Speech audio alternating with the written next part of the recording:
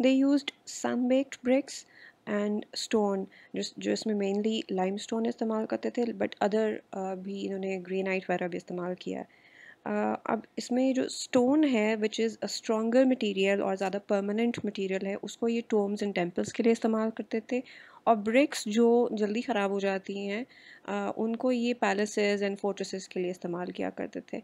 और इनका जो कंस्ट्रक्शन सिस्टम था that is post and lintel system post and lintel system में ये होता है कि वेट बेरिंग पोस्ट यानी कॉलम्स बनाए जाते हैं और उसके ऊपर छत डाली जाती है।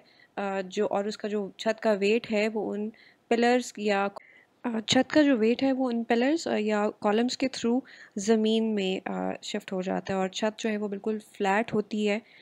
इनकी जो बिल्डिंग्स हैं उनका इंटीरियर और exterior richly painted and decorated with scenes from their lifes और उसके अलावा उन सीन्स को डिस्क्राइब करने के लिए और इन डिटेल में बताने के लिए they use to fill the spaces with writings और इनकी uh, हर बिल्डिंग में कोई भी जगह खाली नहीं छोड़ी जाती थी और उसको हमेशा पेंट और रिलीफ की मदद से उसको फिल किया जाता था।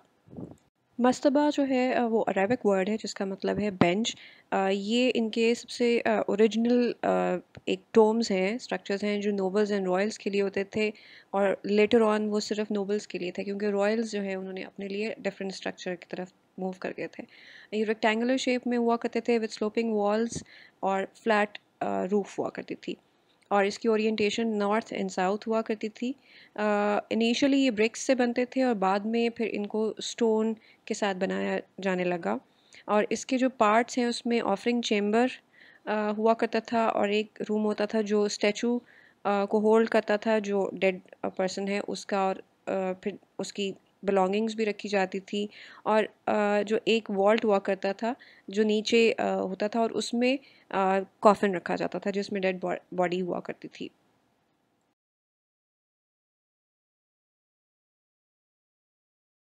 Next phase in the architecture is stepped pyramid यानी कि पहले ये uh, जो टोम्स uh, हैं मस्तबाज बनाते थे उसके बाद जो नेक्स्ट फ़ेज़ आता है जो चेंज आती है उसमें हम देखते हैं कि डिफरेंट मस्तबाज जो छोटे से एक छोटा हो, फिर उसके ऊपर उससे छोटा मस्तबा और फिर उससे उसके ऊपर उससे छोटा मस्तबा।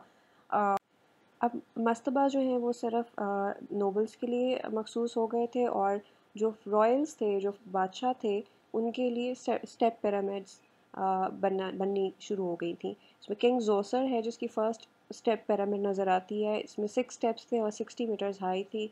और इसकी जो बेस है उसमें ये फ़र्क था कि वो स्क्वायर थी। मस्तबाज में वो रेक्टेंगल हुआ करती थी, पर यहाँ पे वो स्क्वायर में नज़र आती है।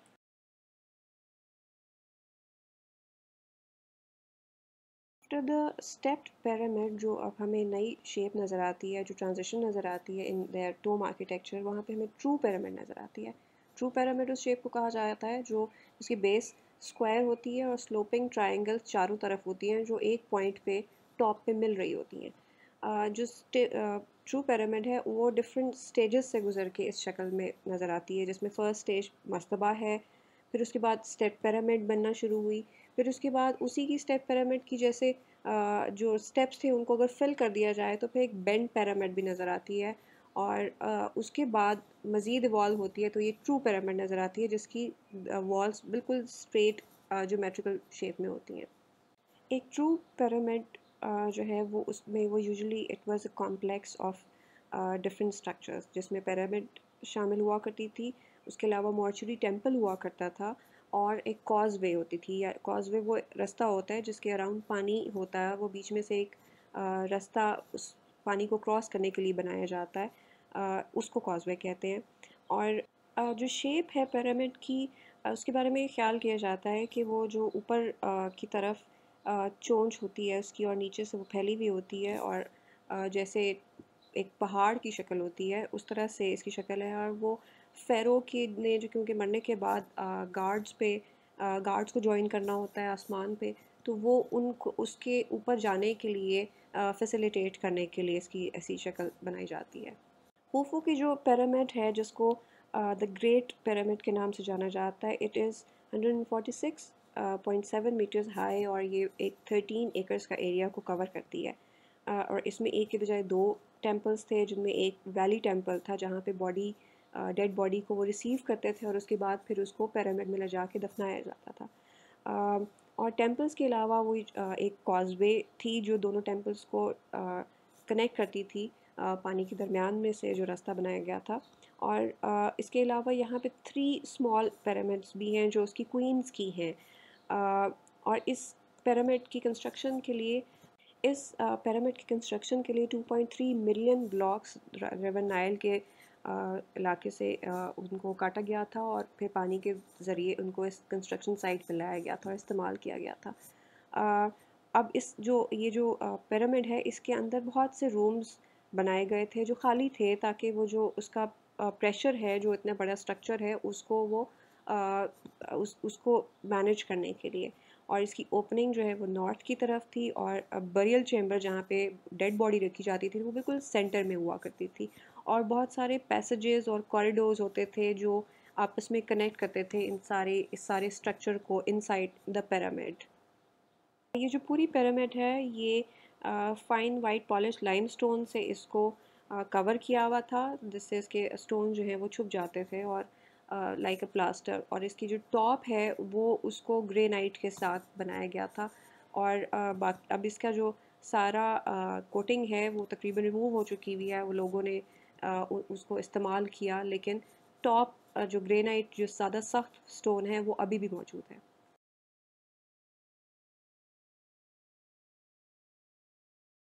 इन द मिडल किंगडम जो ट्रेंड था वो ये हो गया कि ऑलरेडी ये जो रॉक्स मौजूद होती है, जिनकी शक्ल पैरामेटल होती है उनको काव करके ये टोम्स बनाया करते थे। और वैली ऑफ़ द किंग्स के नाम से जाने जाती है, जहाँ पे बहुत सारी रॉक का टोम्स हैं। और उसकी वजह ये थी कि क्योंकि पिरामिड्स के अंदर बादशाह की बहुत सी बिलोंगिंग्स रखी जाती थी, जिसमें बहुत ट्रेजर हुआ करता था, बहुत कीमती चीज़ें होती थी तो उनको चोरों से बचाने के लिए इन्होंने ये अहतमाम किया और इसमें आउटवर्ड कोई काविंग सिवाय एक एंट्रेंस की नहीं हुआ करती थी ताकि वो जो टोम्स हैं वो छुपे हुए हों और लोगों को पता ना चले कि कहाँ पे। Is just like other pyramids in pyramids के अंदर भी सेवरल रूम्स हुआ करते थे और बरियल चेम्बर हुआ करता था जो सबसे आखिर में होता था। और सबसे जो बड़ी है टोम रॉक कट उसके वो हंड्रेड मीटर्स तक अंदर उसको काव करके डिफरेंट रूम्स बनाए गए और इनका जो टेम्पल्स हुआ करते थे कॉम्प्लेक्स के वो ज़रा इनसे फासले पे बनाए जाते थे ताकि एग्जैक्टली uh, सबको पता ना चल सके कि कौन सा पहाड़ है जिसके अंदर पिरामिड मौजूद है।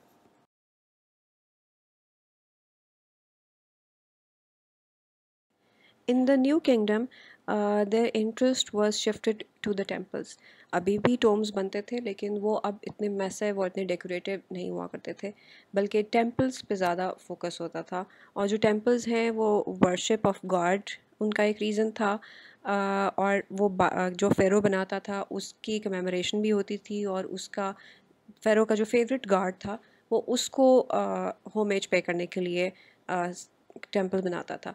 और ये एक बड़ा इकोनॉमिक एक्टिविटी का भी पार्ट था और एडमिनिस्ट्रेटिव पर्पस भी था, क्योंकि यहाँ पे जो लोग हैं, उनका इंटरेक्शन प्रीस्ट के साथ होता था और वो जो प्रीस्ट हैं, वो प्रीस्ट का इंटरेक्शन फ़ेरो के साथ होता था और जो फ़ेरो की तरफ़ से अहकाम हैं, वो लोगों तक पहुँचाए जाते थे।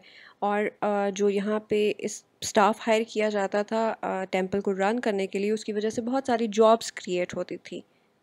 जो टेंपल है, उसमें सबसे इंपॉर्टेंट पार्ट एक सेंचुरी होती थी, एक रूम होता था, जहाँ पे स्टैचू गार्ड का रखा जाता था, जिसके जिसके लिए वो टेंपल बनाया जाता था। और उसके अलावा एक सीरीज़ ऑफ़ इनक्लोज हॉल्स हुआ करती थी डिफरेंट हॉल्स हुआ करते थे, फिर ओपन कोर्ट्स यानी सहन हुआ करते थे, और एक इसकी एंट्रेंस हुआ करती थी, जो बड़ी सिग्निफिकेंट हुआ करती थी, और एक आउटर वॉल होती थी, जो इस पूरे कॉम्प्लेक्स को बाहर की दुनिया से अलग कर रही होती थी। Best example for temples is the temple of Amun Ra जो गार्ड का नाम है और ये करना के जगह पे बनाया गया था। इसमें एक टिपिकल हमें डिज़ाइन नज़र आता है, जो जो सिमेट्रिकल डिज़ाइन होता था, यानी कि इसकी राइट साइड और लेफ़्ट साइड आइडेंटिकल हुआ करती थी।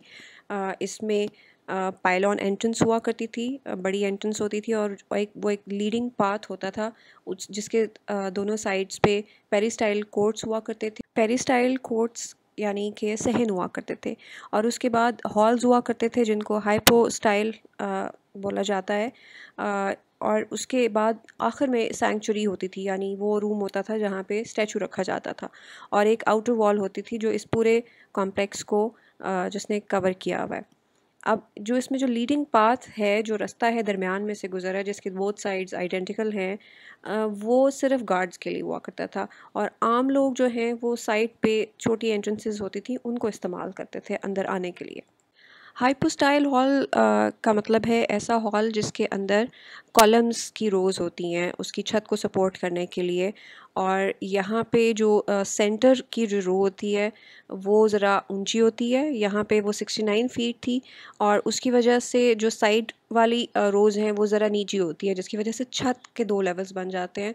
और वो जो छत के दो लेवल्स हैं, उनके दरमियान में क्लरस्ट्रीज़ यानी हवादान या रोशनदान जिनको हम कहते हैं, वो क्रिएट किए जाते थे जालियाँ बनाई जाती थी, जिनसे हवा और रोशनी उन हॉल्स के अंदर दाखिल हो सकती थी।